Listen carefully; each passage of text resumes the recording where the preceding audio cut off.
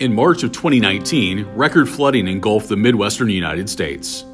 Over 9 million people across 14 states along the Missouri and Mississippi rivers were affected. In Nebraska alone, over 2,000 homes and 340 businesses were lost.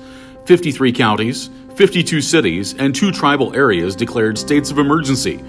Floodwater levels broke over 15 records, some of which had stood for nearly 50 years. Within a week of initial flooding, the cost of damages had eclipsed $1 billion. Destruction overtook our great state. Devastation could be seen physically and emotionally throughout our eastern Nebraska communities. At home in Fremont, all roads leading in and out were destroyed, submerged, or washed away completely, prompting a state of emergency and national news coverage. But in a time of severe hardship, we came together as a state and a community and rallied under a simple but powerful mantra. We banded together to clean up the wreckage and to do our part in preventing further damage.